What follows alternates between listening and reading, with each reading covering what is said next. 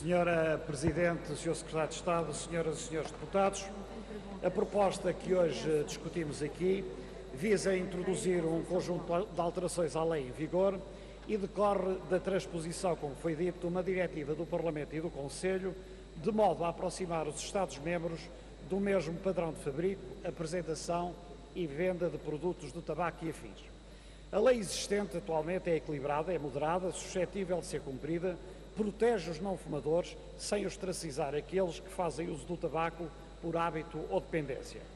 As alterações ora propostas vão no mesmo sentido, o de cumprirem um triplo objetivo: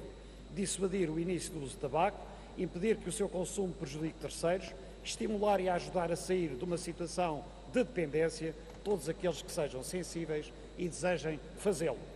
Assim, há um conjunto de advertências gerais e de mensagens informativas que intensificam as existentes, como, por exemplo, fumar mata, deixe já, ou o fumo do tabaco contém mais de 70 substâncias causadoras de cancro. E é verdade, de tal forma que está cientificamente provado e estatisticamente demonstrado que fumar é causa de uma elevada taxa de mortalidade. A proibição de fumar alarga-se a todos os espaços públicos fechados, bem como ao uso de expressões que menorizam e diluem os reais efeitos nefastos e que são efeitos existentes, a saber, baixo teor de alcatrão, light, ultralight, suave, natural, biológico, sem aditivos, uma espécie de pode continuar a fumar, que isto não é assim tão grave. O problema é que é mesmo muito grave. Só assim se pode proteger a saúde de todos, em geral, e muito em particular das crianças e dos jovens, atendendo mesmo ao facto de que será até aos 18 anos que 80% das pessoas ganham o hábito e a dependência do tabaco. Por isso, a proposta de lei obriga a que áreas para fumadores a criar no futuro sejam separadas, compartimentadas e sem serviços, de forma a não sujeitar também os trabalhadores dos estabelecimentos ao fumo passivo. E as que já existem, não conformes com as exigências da lei, vão usufruir de uma moratória até 2020 para que possa existir um retorno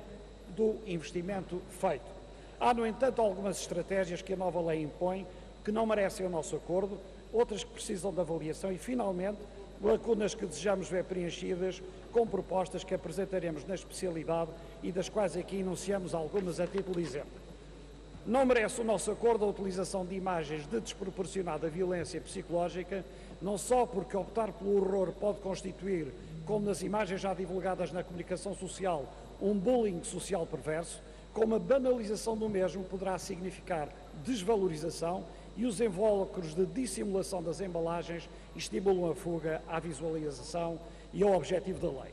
Uma questão técnica relativa à data de 20 de maio de 2017 como limite para a entrada em vigor das novas embalagens. Não é necessário criar uma nova data, basta considerar a estampilha fiscal de janeiro e os três meses que decorrem da lei para o consumo dos estoques existentes e retirada do mercado dos excedentes que eventualmente ainda existam naquela data.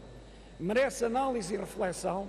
se a equivalência total plasmada na proposta de lei do cigarro eletrónico ou dito tabaco normal decorre de alguma evidência científica demonstrada ou se apenas foi assim considerada por se tratar de uma estratégia de dissuasão que, a nosso ver, pode não ter em conta aqueles que encontraram nesse meio um instrumento para diminuírem ou abandonarem a dependência do tabaco. Finalmente, em nosso entender,